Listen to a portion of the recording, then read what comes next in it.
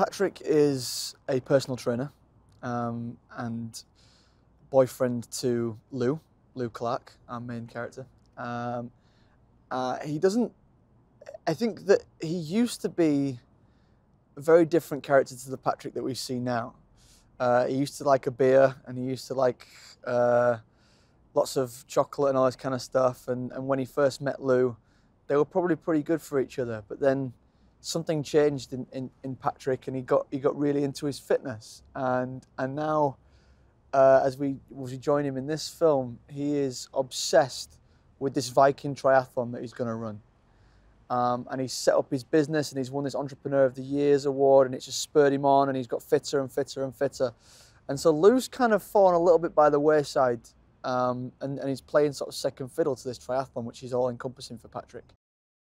Lou and Patrick have been together for, for about seven years and it's comfortable, you know, it's, uh, they've settled.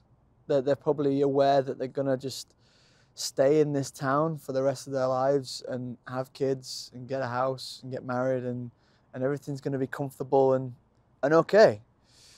Um, but there's, there's, there's a certain lack of excitement with that. And, and Lou doesn't even know that yet. But then when Will comes into her life, suddenly her eyes are open to the possibilities and, and the potential and opportunities of, of the world, really, that there's, there is there is a big old world outside of this town and outside of Patrick, and uh, and she slowly but surely wants to explore that, and obviously that's going to put a whole lot of strain on on their relationship.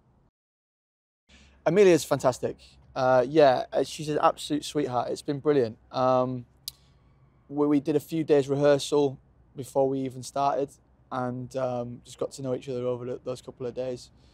And um, she's just really, really chilled, really easy to get on with so much fun, such a great energy. Uh, I mean, this whole set, to be honest, this this whole environment has a real great energy to it. Thea, our director, is just a dream, um, and we seem to be having far too much fun, and yet we're not missing any wrap times. We've not been going over. I don't really know how we're how we're pulling that off, but um, yeah, it's a really really great environment, and Emilia is is part and parcel of that. She's just, I mean, she's in every single setup pretty much. She's in every scene, every shot and she's just still. I mean, she must be exhausted, bless her, but she's still, still, uh, you know, in high spirits, cracking on.